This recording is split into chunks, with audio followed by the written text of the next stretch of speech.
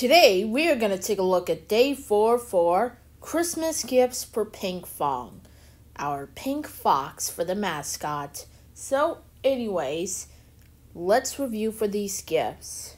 Look what I got for that. So, I got the Toodles plush, Bluz plush, the uh, the Best of Elmo DVD, and the Pinkfong sing along movie too. So, uh, I'll give you a gift rating for Pinkfong. Alright, the results are in. So uh, let's see you ought to get a gift rating for Pinkfong. 4 of the 10? Why? Because Pinkfong has got 4 out of 10 ratings for this gift. What a loser. So anyways, come back tomorrow for more characters.